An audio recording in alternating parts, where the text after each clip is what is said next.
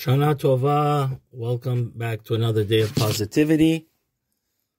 Um, the um, tenth of the nine attributes of mercy that we're trying to clarify to make our selichot more um, meaningful is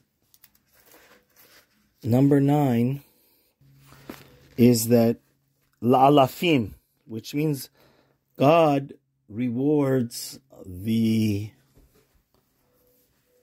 people that follow him for their descendants for thousands of generations. If they just serve Hashem out of fear, it's for a thousand generations. If it's out of love, it's for 2,000 generations. So, on a shot level, we have to emulate the Almighty and if anybody does a favor for us, we should return the favor not only to that person, but to his children, to his great great grandchildren, to his um,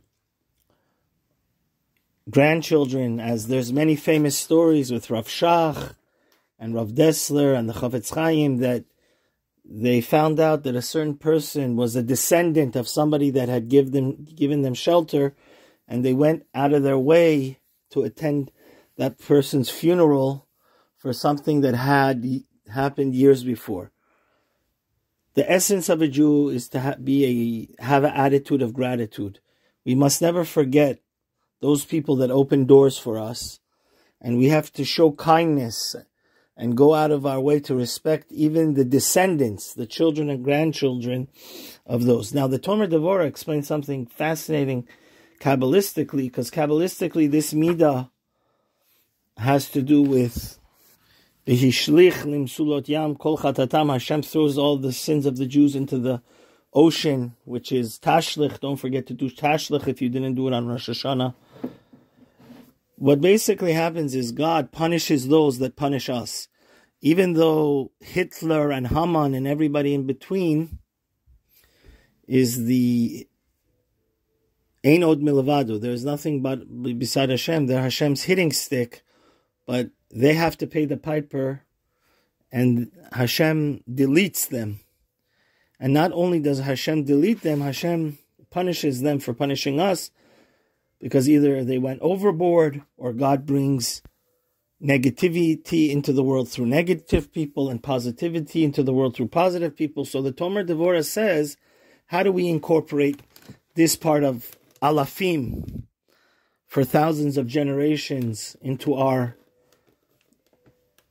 actions because we said the, the, these 12 attributes of mercies it's not enough to do lip service.